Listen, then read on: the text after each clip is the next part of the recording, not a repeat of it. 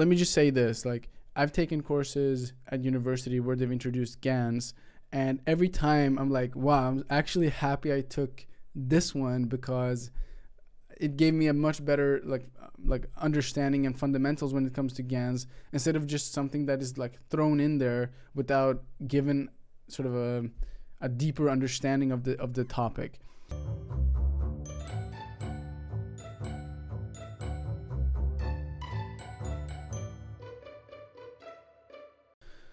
Hey, what's up? I'm back with another video and um, yeah, hopefully you can notice I improved the lighting a little bit so it might look a little bit better now, hopefully. Taking this shit serious now, yeah. And uh, yeah, so I was thinking of doing another pretty chill video, but I didn't see like I looked on YouTube and stuff and I didn't see that many people have done um, like reviews of courses. And you know, I thought the GAN specialization. Uh, I did that a while ago, and so I thought I could make share my thoughts on it and could be beneficial for people that want to maybe contemplating taking the course if it's worth doing. And so maybe I should just share my own experience first. Um, so like when I took this course, I had taken I had a pretty solid foundation in deep learning and I had taken deep learning specialization, all of that. But um, and I had a basic understanding of GANs, but this really like taking this course started um, was when I really started to learn about it in, in more depth. Um, so for me, this course was really good because it, it, it, gave me a solid foundation in, in generative adversarial networks. And then I could build on that and do uh, my own implementations. Maybe you've seen my videos on it, um, you know, where I implement these things in PyTorch. Um, so yeah, I, for me, the course was, re- was really beneficial. Now there are sort of pros and cons, and I'll try to go into in more depth, sort of when it could be beneficial for you, or yeah, just pros and cons of the course in general. Um, but yeah, if you look at like the rating, 4.7, I think that's decently good. Um, I don't know, like the like if it's like really really good like the deep learning specialization has like 4.9 so i guess like 4.7 is like below that obviously. Um, but the thing is it's kind of difficult to just look at the rating because uh, for me so i've done the tensorflow specialization as well and it's also got 4.7 but for me uh, like i would not give this 4.7 i didn't i didn't like this one. Um, but that's a separate video. Maybe i can talk and shit on that specialization a little bit in another video. I don't know. Uh, but but this one uh, I did like. But anyways, let's just look, look at what they say here. So um, what you will learn, understand GAN components, build basic GANs using uh, using PyTorch, and advanced DC GANs using conv layers, control your GAN, and build a conditional GAN.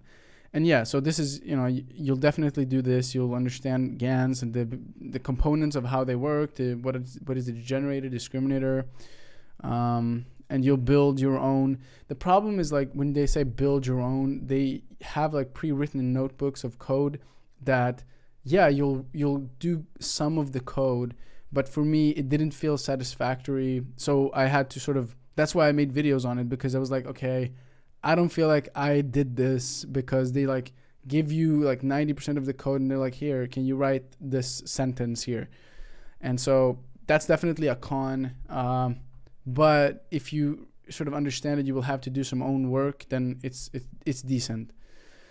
Uh, and then they say compare generative mod- models, use FID method to assess GAN fidelity, learn to de- detect bias in GAN, and implement style GAN techni- techniques. Yeah, so this is interesting as well. Like, how d- can you use some sort of metric to know how good a GAN is? I mean, this is a huge problem in GANs. Like, how do you decide if a generated image is good or not? Let's say you have like a like a human face and it's a generated one. How do you determine the quality? And this is like an open uh, like a this is not a solved problem. This is like a really big problem in, in gans but you can use some techniques like fid score that sort of measures it uh, and inception score you can use that as well. But they're not that good but at least you'll learn about it. And then how you can use GANs for data augmentation and privacy pre- preservation, serve survey GANs application and examine and build pix to pix and cycle GAN.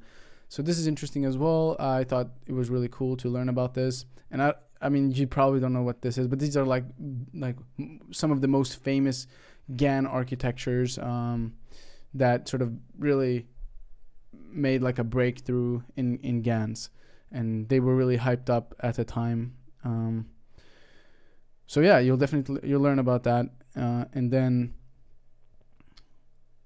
I don't know this thing. I never take this shit serious.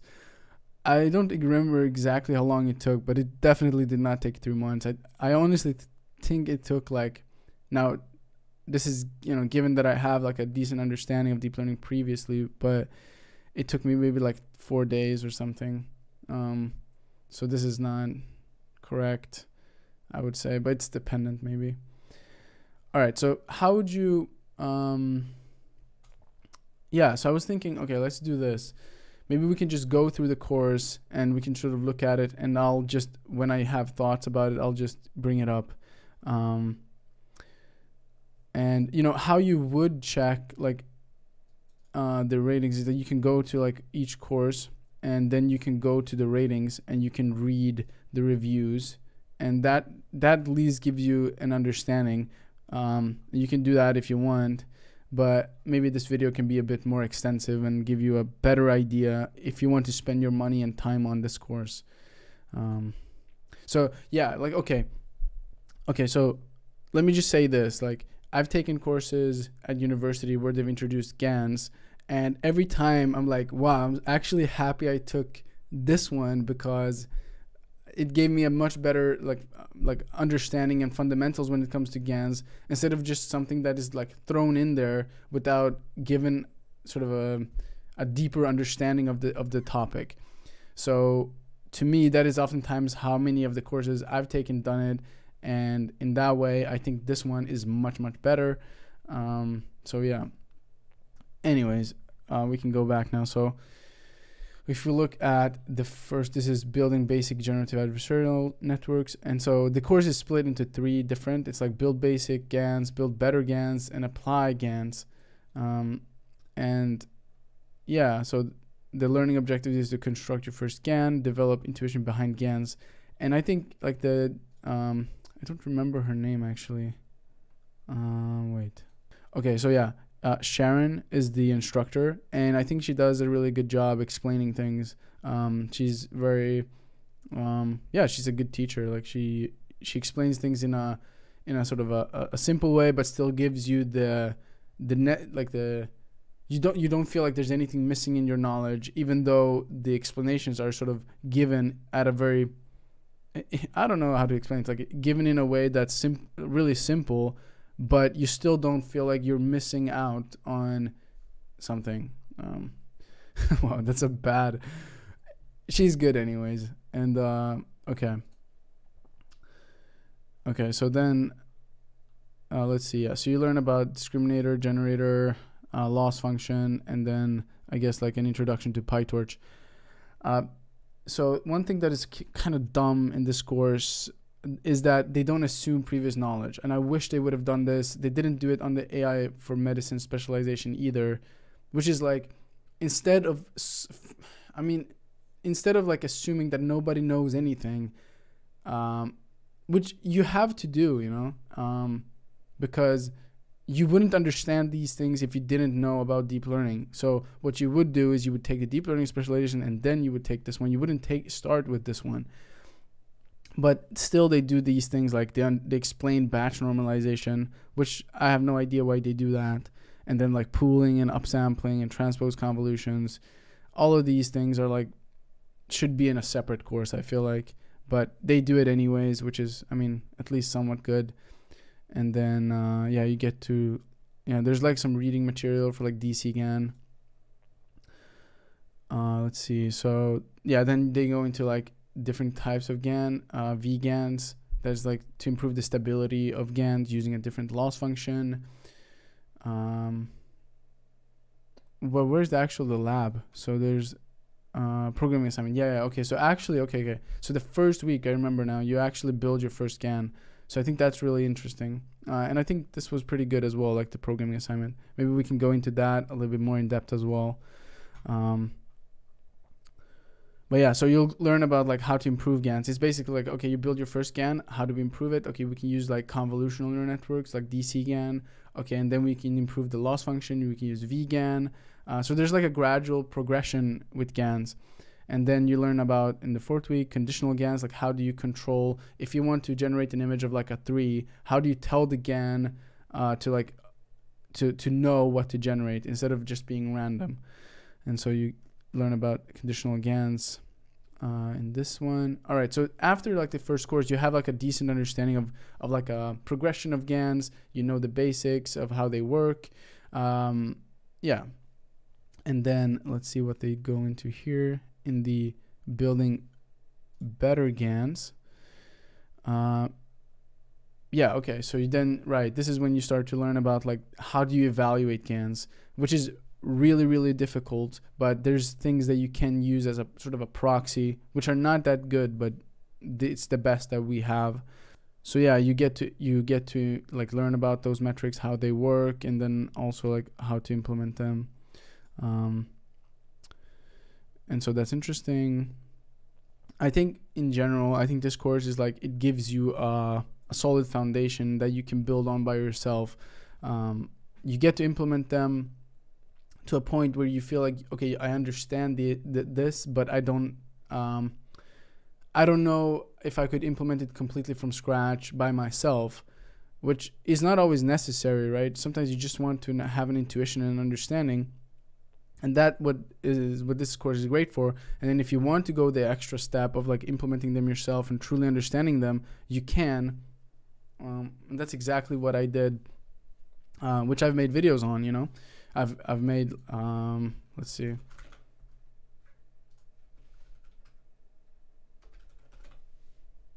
uh, here so here like i have i made like my own explanation of like an introduction to gans and then I wanted to take like a sort of a different approach where I wanted to show how to implement these things. So in a way, the, like the GAN specialization is a really good complement to like the videos I've made because here we implement all these things from scratch so we build our first simple GAN from scratch, DC GAN from scratch, VGAN, conditional GAN. I mean, you can notice like the structure is exactly the same as the course because that's where I learned it from. And then I wanted to take an extra step of learning it, you know, thoroughly. And then as well, pix to pix, cycle GAN, and then pro GAN, and then SR GAN, and then ESR GAN. And I've also done style GAN, but I haven't made a video on it.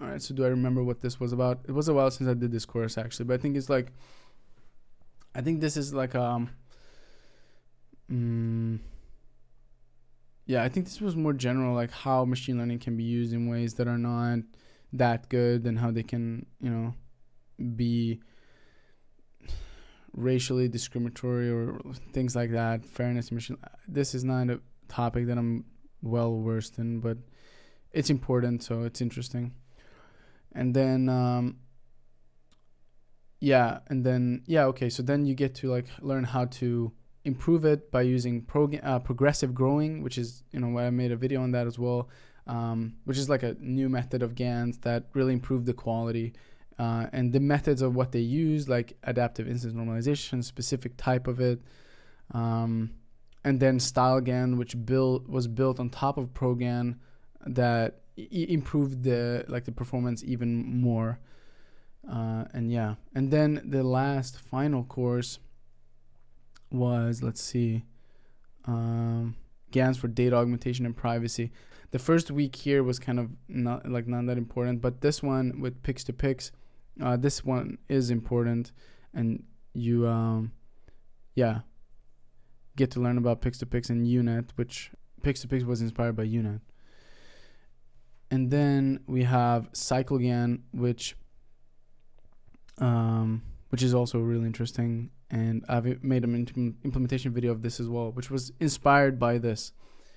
All right, so hopefully this give you a, a, an understanding. Maybe I can show you just like how one programming assignment looks like, so you have an understanding of that as well. All right, so here's like uh, the first assignment actually, but it gives a good um, view of how they are structured and how they look like, which is uh, that basically you're given a lot of code, they explain things a little bit in text, and then they give you functions which are pre-written and then they're asked uh, they ask you to implement it like for example here um, yeah okay so this is okay so here yeah so this is this is what i mean like here they have n and linear and what they had was none comma none and then none. So what you're supposed to like do is to fill in the dimensions of the respect i mean this is the first function right? But this is what you can expect like they do a lot a lot of work for you. Um not to say that some aren't challenging but in general the assignments are pretty easy um which is i don't know good and bad. Like you'll you learn something but if you really want to learn it you need to do stuff maybe do a project on it maybe implement it yourself uh, maybe re- read the paper and go through it in more detail. I mean you have to do some own work just don't rely solely on these to feel like oh no i get everything because they are like doing a lot of things for you. Um so yeah that's in general how they look like and then uh, I guess this is like filled in, so I don't know. I don't know exactly what I did, uh, um, but it's like here they give you this, and then there's like maybe you like write this one sentence, and that's how it is in general. Like maybe you write this one, um, or like or these two, yeah. So it's in general like there's a lot of um, code that's pre-written, and uh, I've re- I read a lot of like comments on like that this is a really annoying uh, and that some people want to do more by themselves. And this is like a and obviously this is a a compromise you know? You have to make something that's good for in general for a lot of people and then you're not going to satisfy everybody. Um, maybe it's possible that they could have had like like a beginner one and then after you've done the beginning one you could have like more advanced one that could be optional but could give you more depth. I don't know how they would solve that exactly but at least now you have an understanding of how it looks like. You have an understanding somewhat. I mean you don't know what they are. Maybe you've heard of them a little bit um, but you have a, an overview at least of the course. Uh, you have what i think of the course um, and yeah if you're interested in gans i think you could you could you should take it. It's not a lot of money, right? And then you can do it pretty fast, and um, you'll have a decent understanding of it, and that you can build on that in the future. Is there anything else to say? Um, I don't think so. Uh, maybe you can leave questions if you have them. I'll try my best to respond, um, especially when this up video is uploaded. Maybe like the first week or so, if it's then then I'll be really good at responding, and then maybe I will afterwards. Um, yeah. So, uh, and I will try to get like a referral link so that if you use it, then you'll support the channel. Um, so it'll be in the description of this video or like in a comment. So if you're thinking of taking it, then do take it through my or please do take it through my description so you can help the channel and I'll make more of these types of videos as well. All right. Thanks a lot. And um, yeah, see you in the next video.